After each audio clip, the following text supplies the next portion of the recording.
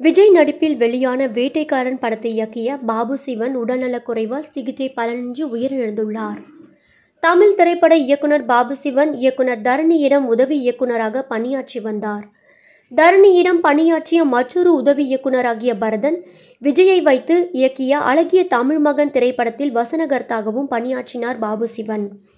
அப்போது இவரது திறமையை கண்ட விஜய் இரண்டாயிரத்தி ஒன்பதாம் ஆண்டு வேட்டைக்காரன் என்ற திரைப்படத்தை இயக்க வாய்ப்பளித்தார். அதன் பிறகு விஜய் நடிப்பில் வெளியான குருவி பைரவா போன்ற திரைப்படங்களுக்கு வசனகர்த்தாகவும் பணியாற்றினார் பாபு சிவன். வேட்டைக்காரன் படத்தை இயக்கிய பின்பு நீண்ட இடைவேளைக்கு பிறகு சன் டிவியில் ஒளிபரப்பாகிய ராசாதி சீரியலை இயக்கி வந்தார் பாபு சிவன். கடந்த இரண்டு நாட்களுக்கு முன்பு உடல்நலக்குறைவால் சென்னை ராஜீவ்காந்தி மருத்துவமனையில் சிகிச்சைக்காக அனுமதிக்கப்பட்டிருந்தார். அங்கு சிகிச்சை பெற்று வந்த அவர் நேற்று இரவு சிகிச்சை பலனின்றி உயிரிழந்தார்.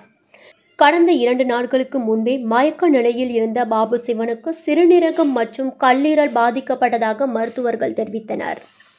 இந்த கொரோனா ஊரடங்கு காலத்தில் ஆறு மாதங்களாகவே எந்த ஒரு வருமானமும் இல்லாமல் பெரும் அவதிக்குட்பட்டது சினிமா துறை.